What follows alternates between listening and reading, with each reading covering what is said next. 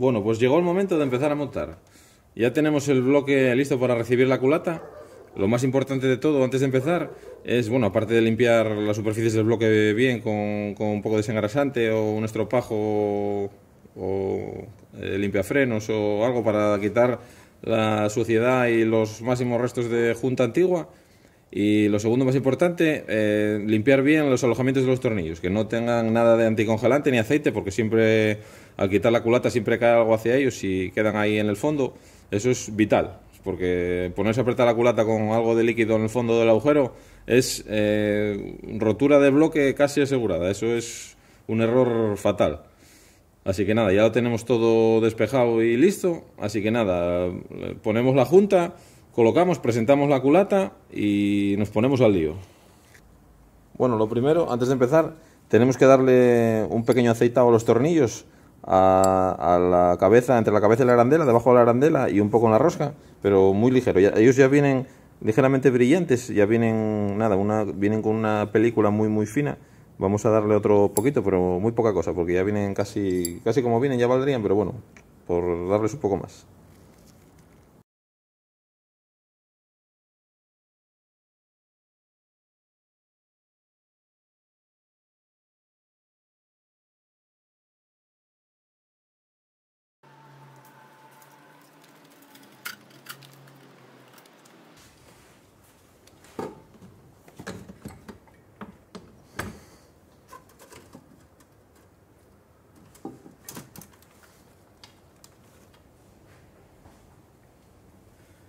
Bueno, los dos, los dos tornillos de culata del fondo, esos hay que, hay que, meterlo, hay que meterla con ellos puestos porque si no luego con el mamparo tropiezan aquí y no, y no entran. Así que hay que meterlos, hay que colocarla con ellos puestos sentados ya.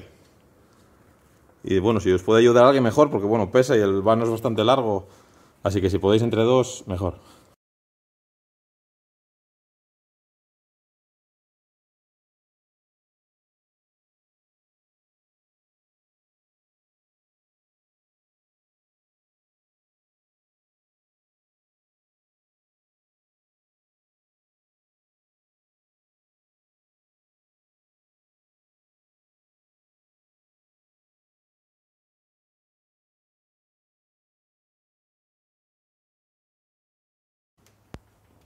Bueno, ya tenemos los tornillos aproximados. Ahora hay que empezar con los aprietes.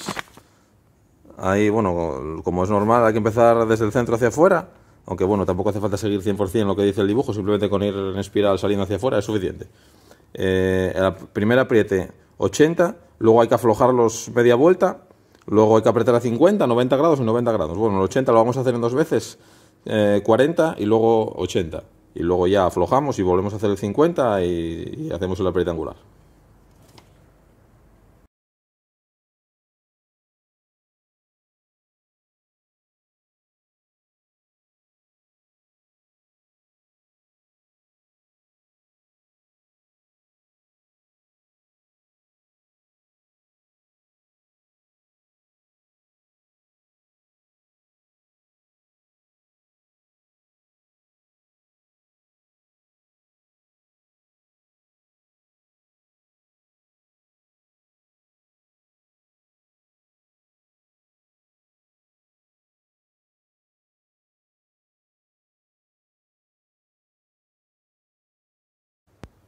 Bueno, ya tenemos el primer apriete a 80, lo hicimos en dos veces. Ahora hay que aflojar media vuelta todos, empezando de fuera, o sea, de, sí, desde fuera hacia adentro, aflojarlos media vuelta, para luego apretar a 50.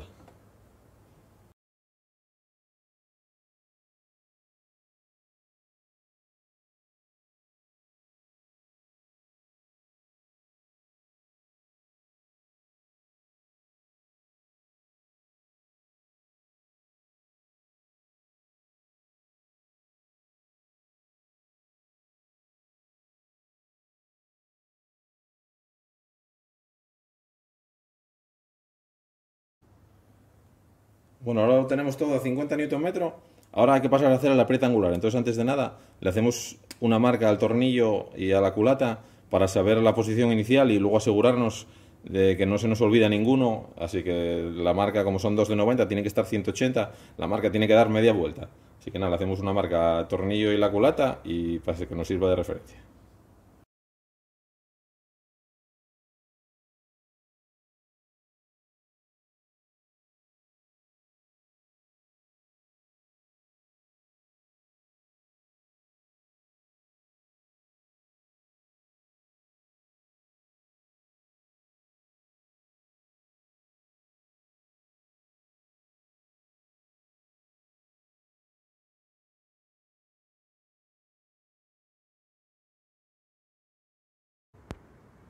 Bueno, ya tenemos los primeros 90 grados aplicados. Ahora nos quedan los últimos 90, la fase peliaguda del todo. Aquí el que no el que no se le revuelva un poco el estómago al apretar esto es que no tiene sangre.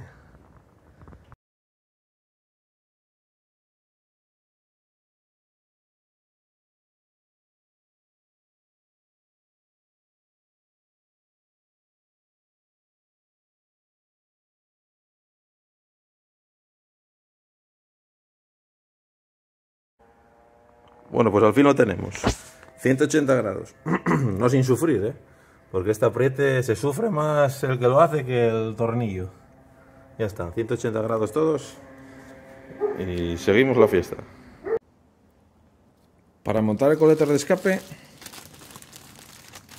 tuercas nuevas, juntas nuevas y para montarlo sin, sin falta quitar el, el turbo ni el filtro de partículas, hay que aflojar un poco los dos los dos tornillos del soporte del turbo para que, para que se mueva un pelín el, la, posición del turbo, porque si no, con la culata puesta y todo puesto, el colector no es capaz de superar la, el borde de la entrada del turbo, así que hay que aflojarlo un pelín para poder bajarlo o nada, porque los tornillos de acceso del turbo están, uno de ellos, el que está entre el turbo y el filtro de partículas, está bastante, está bastante escondido, entonces hay que acceder por abajo, entonces con aflojarlos un pelín sobra. Las juntas llevan un recubrimiento de grafito por un lado, por el otro lado no lo llevan. El lado de grafito va hacia el lado del, colector de escape.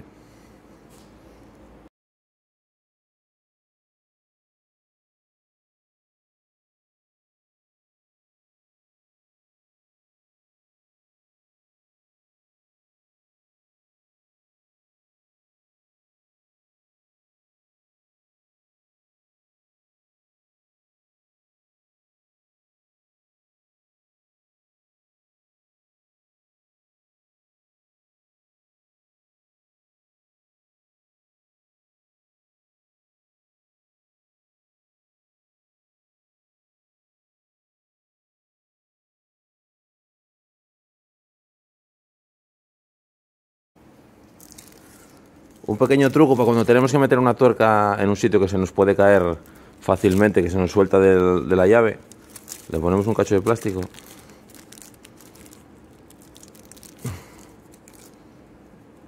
y ya no se cae.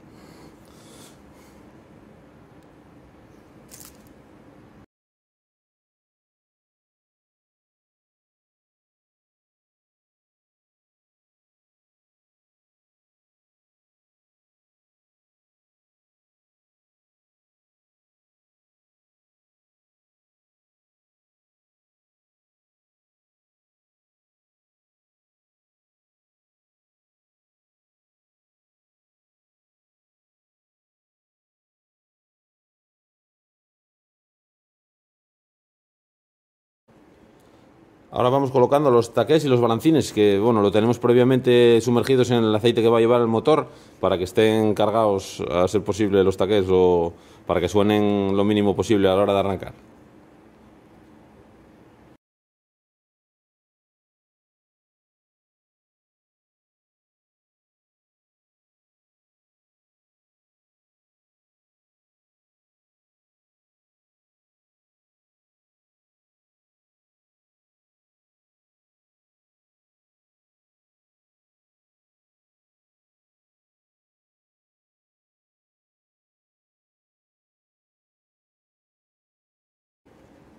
Bueno, ya tenemos los taqués y los balancines montados. Y ahora, antes de montar los árboles de levas, bueno, hemos tapado los poros de entrada con unos cachos de papel, que se me había olvidado antes.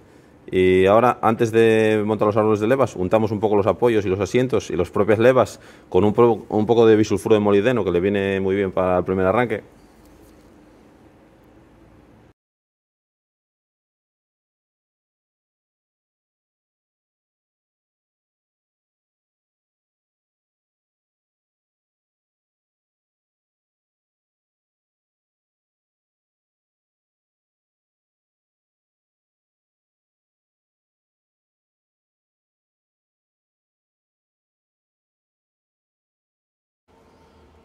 Bueno, ahora para la instalación de los árboles de levas hay que tener en cuenta una cosa importante, que es el calado.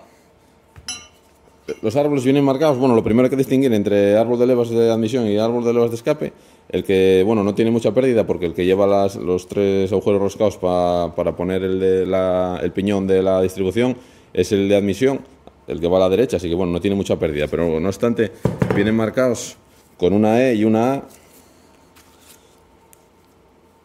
Una E y una A. El, pero no es en español, es en alemán, así que es al revés. E no es escape, sino que es admisión. Y, A es escape. En cuanto al calado de los árboles, lo que hay que tener en cuenta son las, las marcas que llevan, los puntos, los granetazos que llevan las coronas. En este caso, tienen, que entrelazarse. Siempre llevan dos en un lado y uno en el otro que tienen que quedar así. La, la que es una sola eh, tiene que quedar en medio de las otras dos.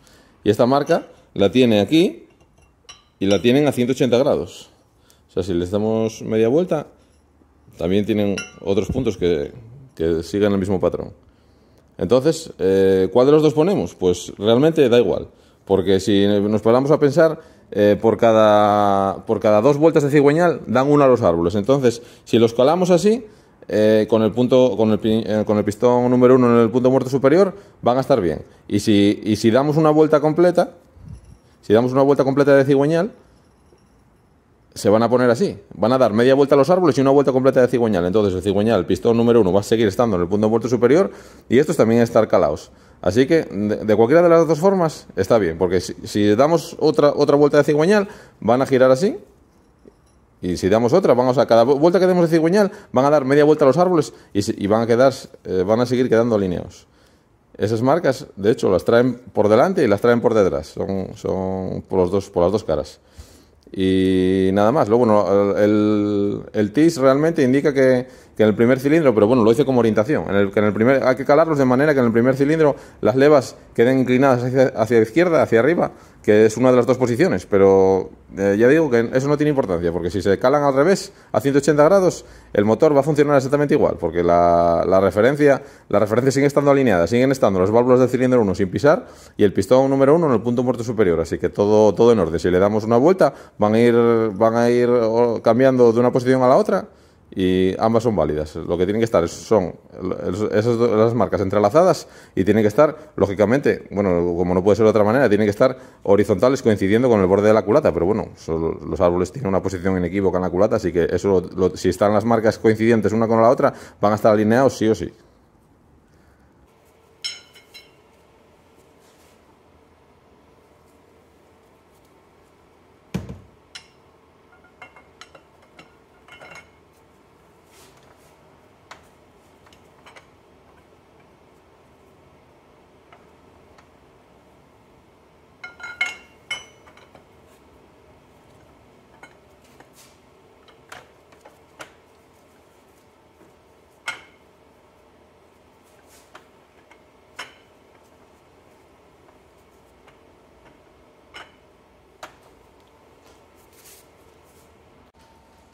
Bueno, aquí voy a hacer un paréntesis porque esto tiene, tiene necesidad de mencionarse porque esto clama al cielo. O sea, cuando compramos una herramienta, un kit de herramientas de estos genéricos baratos de Amazon o de AliExpress o de lo que sea, a veces nos llevamos sorpresas de este tipo. Esto es un kit de calado del árbol de levas. Este, esta pieza se supone que tiene que entrar en estos planillos que tiene aquí el árbol, pero como podemos comprobar, no entra. No entra. Y aquí bien dice las especificaciones que vale para BMW M57. Esto es un M57, pues bien. Los planillos estos están separados.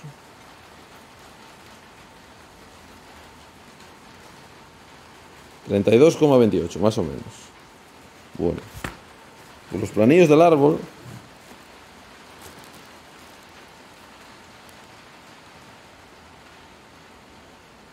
...32... 32-42. Claro, así es imposible que vaya a entrar. O sea, si te lo mandan con dos décimas de menos, esto no va a entrar en la puta vida. Estas son las cosas que, te, hablando mal y claro, tocan los huevos sobremanera. Así que nada, antes de seguir, voy a, rebajar un poco el, el útil, pero vamos, esto mete miedo. Ahora ya lo hemos repasado un poco y ya entra, pero esto, vamos, de ninguna manera sería permisible esto. ¿eh? En fin. Bueno, ya tenemos los árboles calados. Ahí, ahí vemos que coinciden el punto del derecho sobre los dos puntos del izquierdo. Y las levas del primer cilindro apuntando hacia la izquierda, pero la mitad hacia arriba. O sea, no están las válvulas pisadas, que es lo que tiene que ser. Y tiene una segunda marca por detrás, que también ha de coincidir, que bueno, lógicamente coincide, si coincide la de adelante, la de atrás también. Ahí vemos que tiene una marca un piñón y dos, y están entrelazadas también.